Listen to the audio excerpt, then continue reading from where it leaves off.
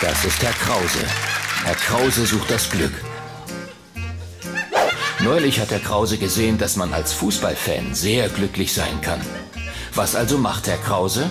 Er sucht sich einen Verein aus.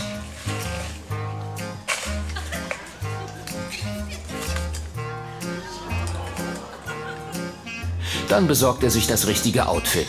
Einen Schal, eine Kappe, ein Trikot, ein Trikotkissen, Unterhose und sogar Bettwäsche.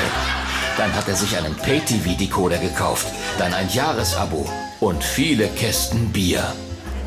Jetzt fehlt nur noch der richtige Fußballkumpel zu seinem Glück.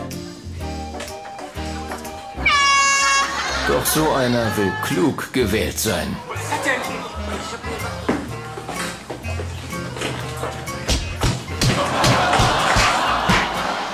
Und dann verliert der Verein auch noch 5 zu 0. Tja, wieder nicht das Glück gefunden, Herr Krause. Nächste Folge von Herr Krause sucht das Glück.